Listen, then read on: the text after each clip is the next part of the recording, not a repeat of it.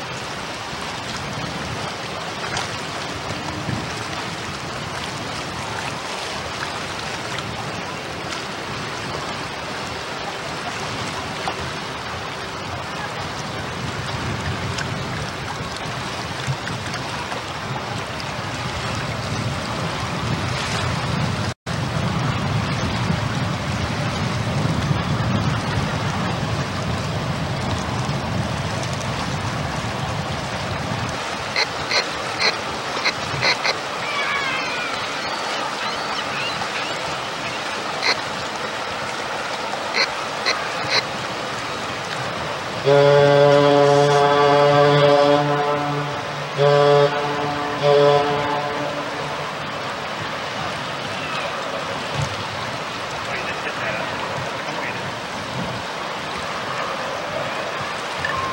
around on plane right at you.